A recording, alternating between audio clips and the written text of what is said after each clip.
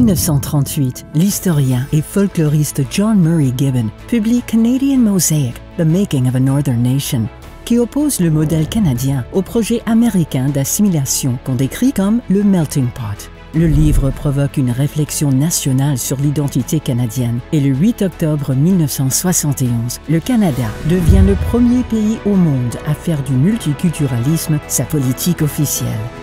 Les Canadiens continuent de célébrer leur riche diversité et le projet multiculturel s'est élargi vers les enjeux d'inclusion, d'égalité et d'équité. Notre multiculturalisme est constamment réinterprété alors qu'il sous-tend la vitalité et les besoins d'une société riche et colorée.